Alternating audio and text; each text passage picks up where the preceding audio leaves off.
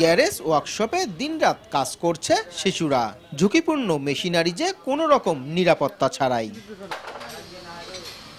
লালমনিরহাট শহরের বেশিরভাগ এলাকার একই চিত্র। দরিদ্র ও বিদ্যালয় থেকে ঝরে পড়া শিশুদের নিয়োগ দেওয়া হচ্ছে এসব প্রতিষ্ঠানে। প্রাপ্তবয়স্ক শ্রমিকদের চেয়ে প্রায় অর্ধেক মজুরি কম পাচ্ছে শিশু শ্রমিকরা। আমার বাবার মনে করে একটু সমস্যা ছিল। তারপরে ঢাকা থেকে আসছে আর পড়ালেখা করিনি তারপরে থেকে আমি গ্যারেজে কাম করি। ফোর পর্যন্ত পড়ছি ক্লাস ফোর আমার বাড়ির আমার সদস্য বেশি দিকে আমার বাড়ির সমস্যা হয় দিকে আমি গ্যারেজে ঢুকছি। বড়োর জন্য ব্যক্তিকে রাখা হতো তাকে যেখানে দেওয়া দিতে দেওয়া দেওয়া লাগতো তিনশো টাকা। আর শিশুদেরকে দিতে হয় দেড়শো টাকা। এই তিনশো টাকা বিনিময়ে তারা কিন্তু দুজন শিশুদেরকে দিতে পারছে এবং শিশুদেরকে নেওয়ার পরে তার প্রতি তার বল প্রয়োগ আধিপত্য বিস্তার করতে পারছে। সকাল থেকে রাত পর্যন্ত কারখানাগুলোতে কাজ করে শিশুরা। শিশু শ্রম অবৈধ জেনেও প্রতিষ্ঠান মালিকরা তাদের নিয়োগ দিচ্ছেন। স্কুলে পাঠাতে দেখা গেল স্কুলে যায় না মার্বেল খেলায়। এখন ওই ছেলেটাকে আনিয়ে গ্যারেজে দেয়। যে ভাই আমার ছেলেটাকে কাজ শিখান।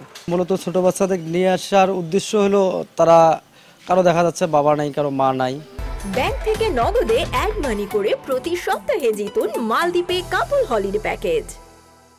শিশু শ্রম আইন বাস্তবায়ন সমন্বয় কমিটিতে বিষয়টি আলোচনা হয় না বলে জানেন না খোদ জেলা প্রশাসক।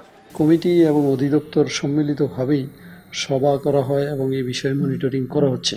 তো আমার জানা মতে যেহেতু লালমনিরহাটে কোনো শিল্প কারখানা নেই আহ, সেক্ষেত্রে আমরা যে সবাই আলোচনা করি সেখানে এরকম সন্ধান পাওয়া যায় না। বাংলাদেশ পরিসংখ্যান ব্যুরোর তথ্য মতে লালমনিরহাট জেলায় অন্তত চৌষট্টি হাজার তিনশো জন শিশু শ্রমিক রয়েছে। তাদের মধ্যে অন্তত সতেরো হাজার শিশু ঝুঁকিপূর্ণ কাজের সঙ্গে জড়িত। যে আই সমাপ্ত। সময় সংবাদ লালমনিরহাট।